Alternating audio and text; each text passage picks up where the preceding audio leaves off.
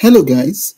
We're in the beautiful country of Luxembourg in Europe in search of master's and PhD opportunities and even postdoc opportunities in case there are viewers here interested in postdoc funding. So, Luxembourg is a beautiful small country in Europe with lots of funded opportunities. As we'll be looking at today, some of the opportunities are open, some of them are closed for this year, but are going to be opening very soon for next year. So, in case your particular opportunity is not open, bookmark this scholarship and make sure you keep a tab on it. And immediately it opens, you take advantage of it. So, without any further delay, let's look for master's, PhD, postdoc opportunities in Luxembourg. So, we'll begin with the research opportunities in form of PhD, postdoc opportunities. So, um, for a number of European countries, not all of them, but some of them, PhD opportunities, postdoc opportunities are seen as um, job positions or job vacancies. So you find PhD opportunities under current vacancies, for instance, as you can see here. So you can simply use the filter function to select the um, job position you're applying for. So for instance, if you're looking for a postdoc position, choose postdoc here and click on search. And these are the different kinds of postdoc positions. Here you can see something on drug development. Here there is um, a postdoc researcher in social sciences. There's something about cancer, digital history, energy. So you can see the very long list here. And in case there's a postdoc applicant in the house, take advantage of this. Or in case you know somebody interested in the postdoc. Of course, you can also find opportunities here for professorships.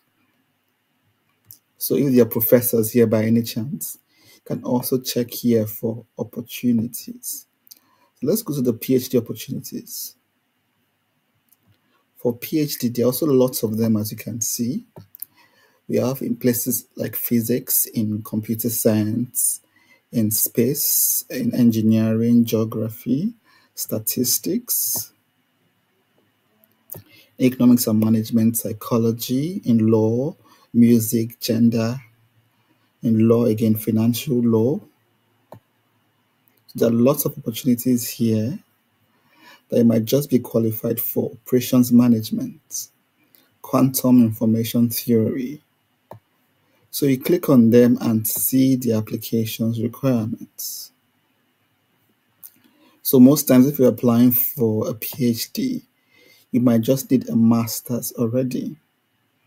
So read thoroughly what they require, what they need you to provide, and just click on the required link and go with it. It's a very um, informative website. All the materials, I think, all the information you need on this website already. And there are also contact persons in case you need to ask questions about these positions. So you can see them here, numerous of them, different PhD opportunities, just like job vacancies, as I said earlier. So let's quickly move to the master's opportunities. They are just as generous, if not more generous than the PhD opportunities. So look at this first one. The Gil Lumen scholarship. I hope I got that pronunciation correctly. So it's from people from third countries. So usually this refers to people from outside Europe, people willing to study in Europe, but from outside Europe. So if you're from Latin America, US, Africa, Asia, you qualify for Australia, of course, you qualify for this um, scholarship and it's looking for those with high academic achievement in their bachelor studies and those willing to apply for any of these eligible masters. So these are the master's courses eligible for this particular um, Gil Lumen um, scholarship. So these are the master's opportunities. And um, how do you apply for it? There is an application portal here where you apply for the scholarship but you also need to apply for admissions differently. So you apply for admissions for one of these courses mentioned and then return here to apply for a scholarship. So you, you don't necessarily need to wait to get admitted, but so far you get like a application number or something, then you can move forward to apply for the scholarship. So you need the scholarship application form, which you can get through here, your personal statement, motivation letter. So why do you want to take up this course? What is your application or your rather your work background or your educational background? And how will this course help your future goals? There are videos already on this my YouTube channel. By the way, this is my YouTube channel on how to write these motivation letters, statement of purpose. So you can get tips from here. So let's go back to the scholarship. So of course, recommendation letter and said about okay, two letters, two recommendation letters, and the full contacts of those recommending you. So as we said, um, academic achievement and originality in your personal statement, and of course your motivation for undertaking the course as well. So the admissions procedure is also stated here. The selection procedure, rather, your application will be assessed, and if it is good enough, you'll be given the scholarship. So, what does the scholarship cover? The the weight of the scholarship. So, it's meant to cover full tuition and then a living stipend. As you can see here, you can see 500 euros per month for living stipend and um, you also get um, what do they call it? Accommodation, free accommodation in the student hall as well.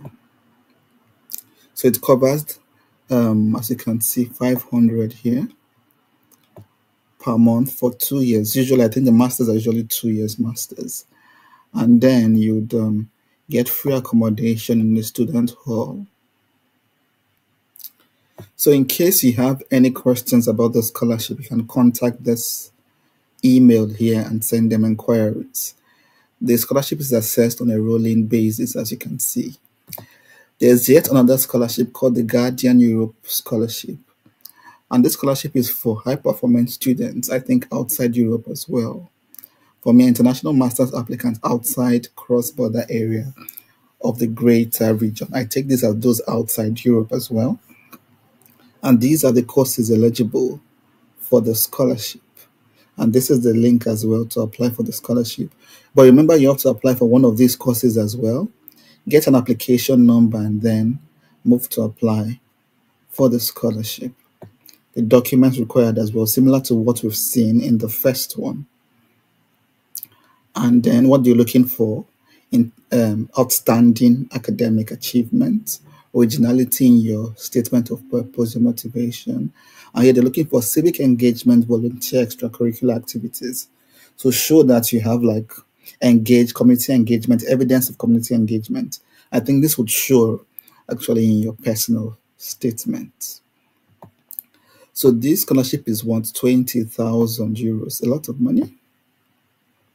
And they've also broken it down here on how you're going to receive the money through the um, duration of your course as well.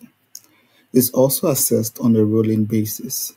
So there's just one issue with the scholarship, and that is, or both of them, the um, Gil Lumen and the Guardian scholarship. There's just one major problem, and I will show you what it is. So, for instance, let's check data science. Let's say we want to apply for data science can see the basic information. It's a two-year course and everything. Here you get the applications requirement. But here comes the problem. For non-EU students, the application window is between February and April. Unfortunately, this is um, August. So the deadline to apply for this course has passed. But fortunately, it's an annual scholarship, so you can always apply next year. So you cannot meet up this year. You cannot be admitted this September or October, obviously. But if you're looking for scholarships by next year, I think you should consider this scholarship. because it's a yearly scholarship. So I've checked for most of the courses. The application window is between February and April. So bookmark this scholarship and make sure immediately it opens, you take advantage of it. So you can also see here details about scholarship. And if you click on, this is the website of the data science, for, um, by the way. But if you click on this link at the bottom, it takes you back to these scholarships. So just confirming that this course, for instance, is covered by this scholarship. So if you're looking for scholarships in any of these disciplines for next year, I think you should bookmark this page and visit very often. And Im immediately the time comes to apply for a scholarship, please do so. And that's it, guys. Fully funded masters covering your stipend, even accommodation, as we saw um, earlier. As we saw earlier here, free accommodation in the students' residence hall. And of course, we saw PhD opportunities here, postdoc opportunities, and even professorial opportunities as well. So I hope this was useful. And as usual, guys, we cannot wait to celebrate you. There are several materials on my channel already, different assorted, fully funded scholarships in different parts of the world. So take advantage of them, ask direct questions after engaging with materials already provided. And we'll see you at the top sooner than later. So bye bye for now.